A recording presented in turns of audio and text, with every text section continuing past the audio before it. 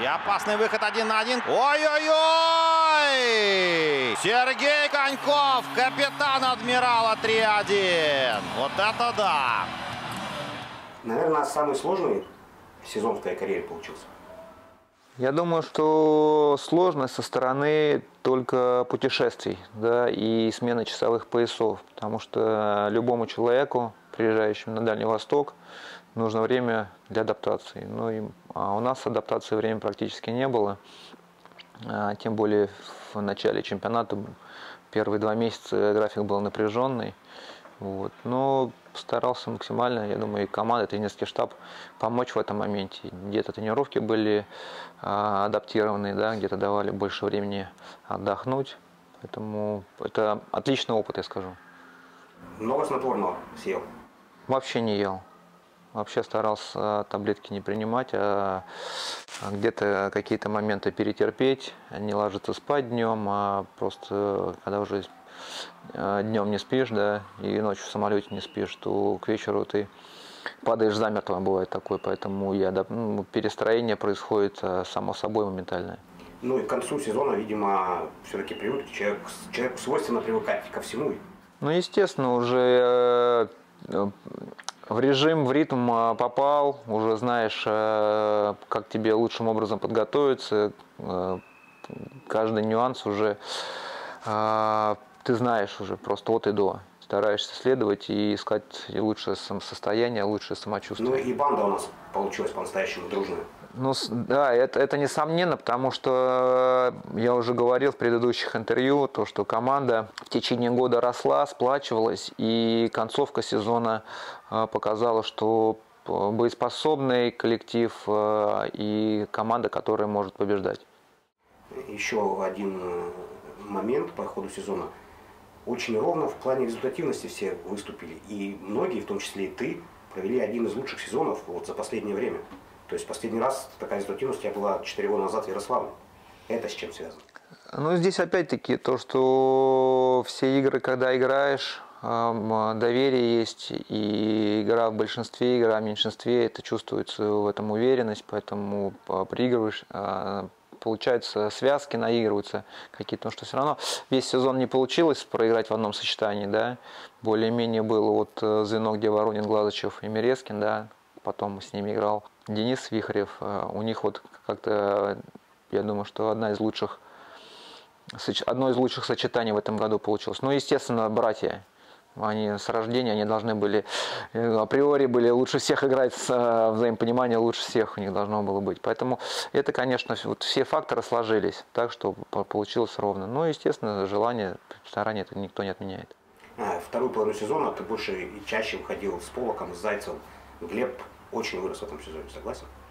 Ну, естественно, опять-таки я повторюсь, что мы старались, во-первых, и друг другу помочь, и поддержать и Глеба, потому что для него это был первый сезон, и важно было, чтобы он э, уверенно вошел в него, ничего не боялся, смело играл, а, не давили на него, да, какие-то моменты разбирали. Я думаю, что ему это понравилось, и он говорил, что он тоже начал получать от этого удовольствие, и, конечно, э, и результативность появилась, конечно, можно сказать, что рост. Ну, опять-таки, все для молодого игрока первый сезон важен, да, надо дальше продолжать. Самый запоминающийся момент вот, из прошедшего сезона, лично для тебя? Так тяжело вспомнить сейчас прям, потому что не знаю, ну, запоминающаяся, наверное, поездка у нас э, в Китай была, когда нас катали между городами, да. Э, одних, одних ехали на микроавтобусах, там сложились э, неудобные сиденья были, да, ребята ехали 3 часа, кого-то 6 часов или 5 часов катали, да, наверное, это. Вот, но это со знаком минус, да, а со знаком плюс, я думаю, что э, та внутренняя атмосфера в команде, да, и то, то, что получилось именно на игре показывает. Это то, когда ребята друг друга поддерживали, подбадривали, и то, что на поле получалось на жилах вытягивать, это вот всегда моменты такие очень которые притягивают за них, ну, к ним стараешься прийти, за них бьешься. Это хороший положительный момент. По ковровой дорожке раньше ходил? Что-то не припомню. То есть в Владивостоке было тоже впервые это для тебя? Ну да, да. на закрытие. Ну, закрытие тоже молодцы сделали. Во-первых, очень быстро организовали. Приш- Пришло большое количество болельщиков.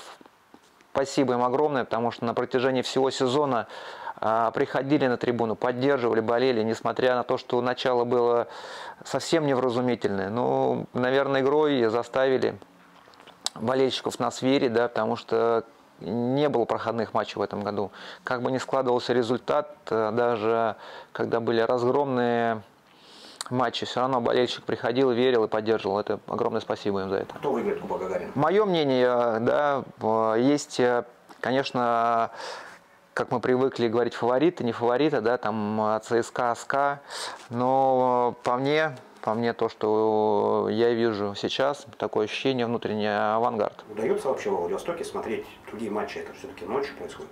Нет, не удается, потому что действительно все матчи, которые происходят э, в московском регионе, проходят половина третьего ночи, да, и только на утро обзоры обзор, как сыграли, да, единственный, который матчи можно посмотреть, да, и то не поздно, это опять-таки Новосиб- Новосибирск и Астана.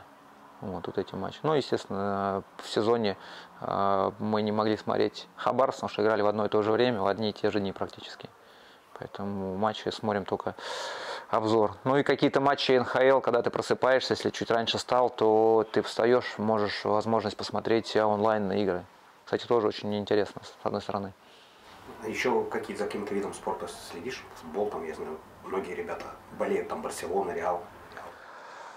А, Футбол как таковой а, мало интересуюсь, да. Ну хорошо, у нас сейчас доктор появился, пришел из футбольной среды, он немножко посвящает, про игроков рассказывает, про тренеров, так немножко стал больше обращать внимание. Ну, естественно, смотрю, смотрю, смотрю также обзоры Лиги чемпионов, да, какие-то топовые матчи, как э, Испании, да, Барселона, Реал, сейчас Ювентус, потому что действительно даже последний матч был Ювентус, э, с Атлетико играл, да, то тоже ребята пришли, обсуждали в раздевалке повторы.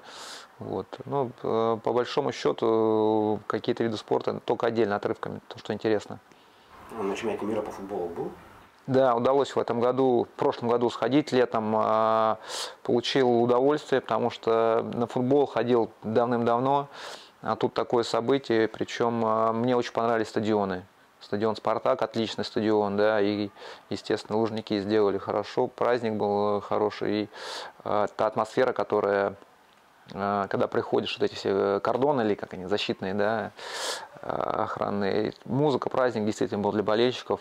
Даже несмотря на то, что погода была, потом ливень был в Москве большой, не испортило. Впечатление хорошее оставил. На луче во Владивостоке не удалось выбраться?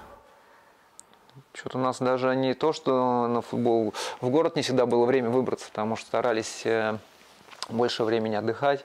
Вот, и за футболом не следили. И тем не менее, в Инстаграме у тебя очень много красивых видов Владивостока.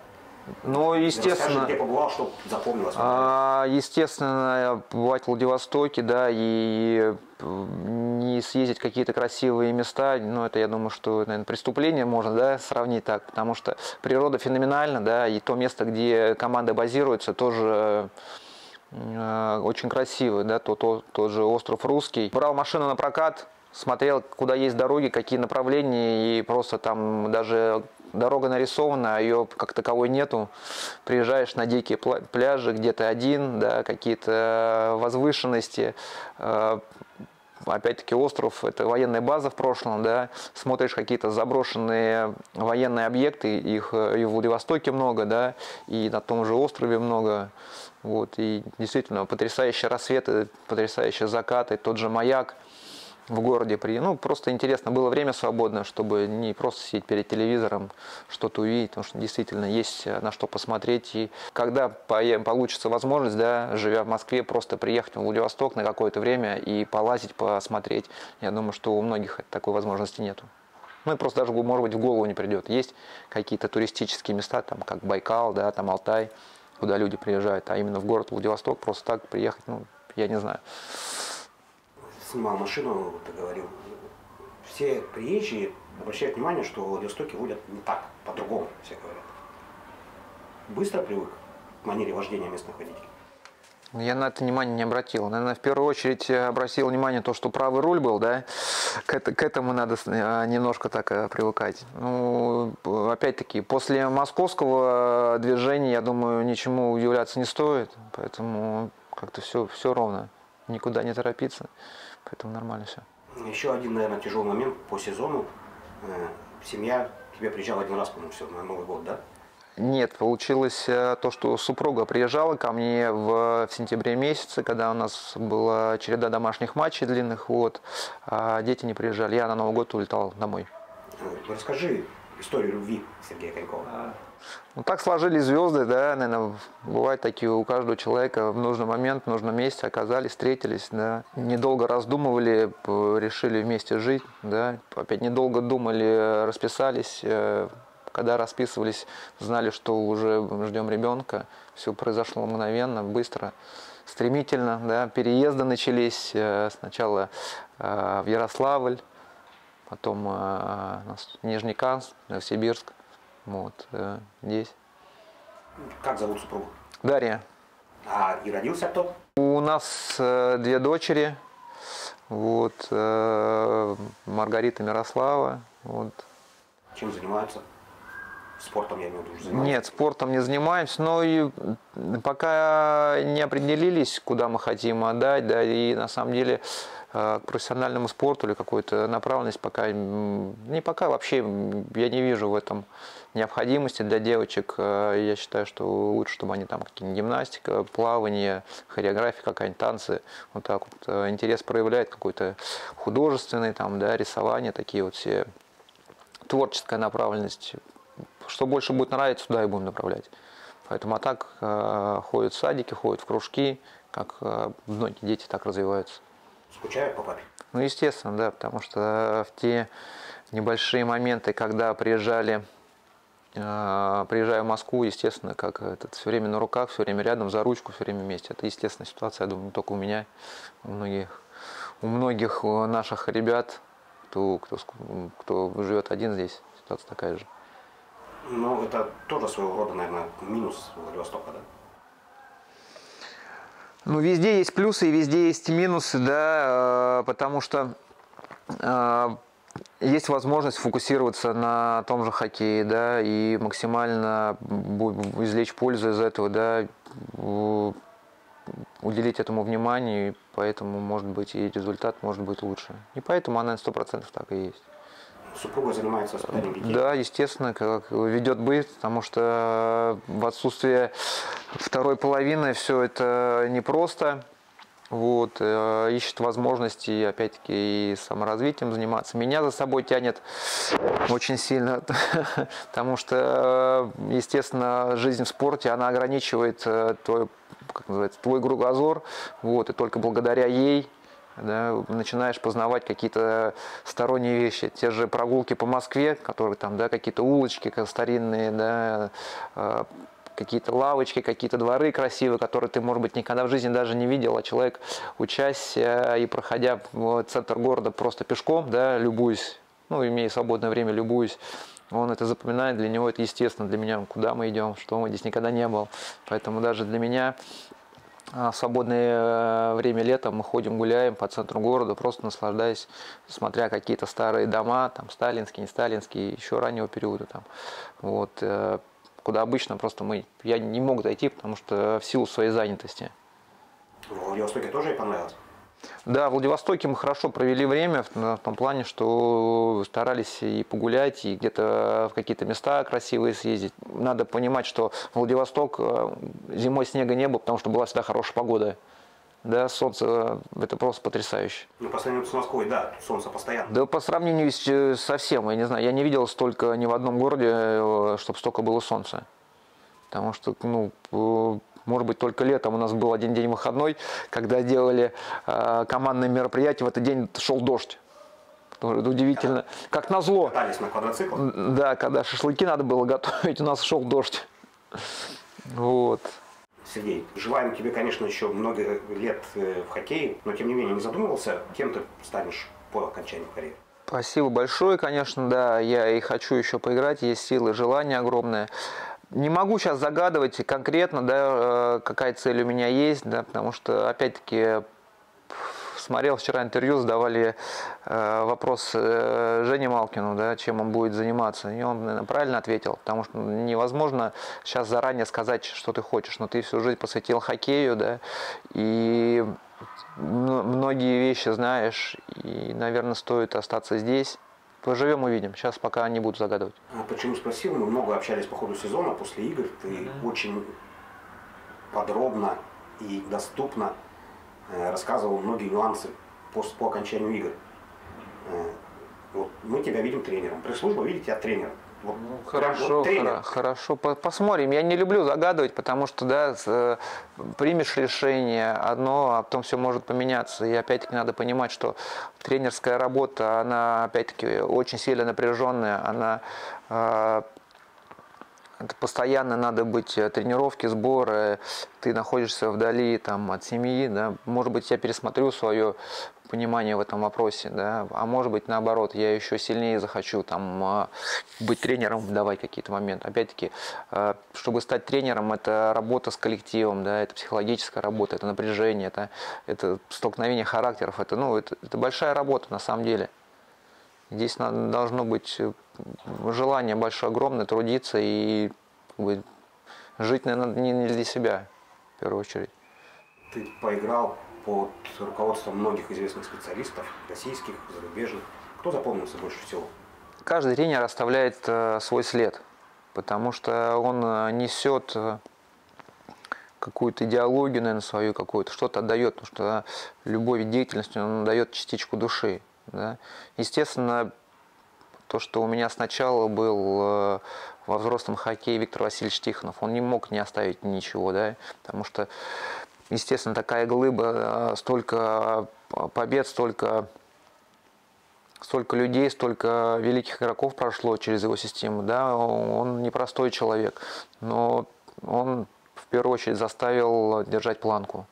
Он даже имея в составе и играя, играя в высшей лиге, в составе были молодые ребята, он все равно старался держать планку очень высоко. Приучил к ответственности 16-17-летних ребят э, принимать и отвечать за то, что они делают на поле. Да.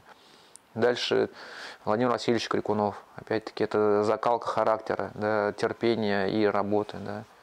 Владимир Васильевич уже пять раз заканчивал с хоккеем и возвращается ну, тоже не, не может, не может. Всю жизнь э, в спорте, все время в коллективе, да, и, естественно, он хочет доказать, а в очередной раз, что он еще может э, может э, показывать результат. И много раз его брали как антикризисного тренера, да, и у него это с успехом получалось. Вот, я думаю, что и руководитель это прекрасно знает, и он знает свои сильные стороны. Вот. Есть желание самого главного человека, он работает. Вот.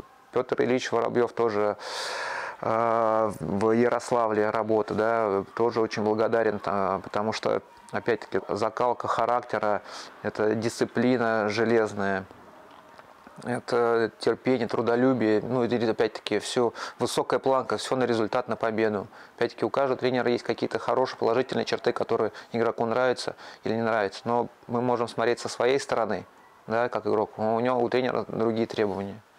Олег Валерьевич Знарок, да, опять негладимое впечатление, потому что это э, два самых ярких сезона. А не удивительно, что Знарок не работает в клубе сейчас? Ну, я думаю, что там э, другие вопросы, потому что как специалист действительно он уже доказал э, всем, многим, да, что, на что он способен. Я думаю, что это дело времени, когда он опять встанет на тренерский мостик, потому что и сборной он Э, показал, что он может и в командах, да, потому что даже не играя не в чемпионские, даже не чемпионские годы, он приводил команду, которая по потенциалу была ну, невысокого потенциала, он сделал из нее, довел до финала, тот же МВД, да, и был рост команды, был костяк команды внутри, он сплачивает ребята одной идеей, такой хороший мужской коллектив получается. Многие иностранные специалисты тоже делали вклад, там тоже Дэйв Кин, Кари Хейкель. Да. Каждый человек, даже тоже Андрей Викторович Назаров, да, это э, харизматичная личность, которая отлично может смотивировать, и, и ты должен понимать, что только за счет хорошей и своей полной стопроцентной отдачей э, ты сможешь расти. И он, опять-таки, это показывается работой с молодыми игроками. Действительно, это и работа в тракторе с молодыми игроками. В том же Нижнекамске много молодых игроков. Но, опять-таки, молодая, молодые команды, это не, что говорит, это нестабильность. Да? Надо все время работать, подтверждать свой статус. А тренер, тренер ставит задачу побеждать всегда. Если выбираешь. Да, между, между молотом на ковале находишься постоянно. Каждый тренер, каждый тренера ты смотришь, даже и не главные тренера, и помощники тренеров, ты на протяжении всей карьеры ты общаешься, да, с людьми и смотришь, какие-то замечания. Все стараются тебе помочь, по большому счету. Никто не ставит какие-то препоны, препятствия для того, чтобы ты не развивался, да. Но по сути все стараются тебе помочь, и у всех одна задача, чтобы ты стал лучше, чтобы ты побеждал.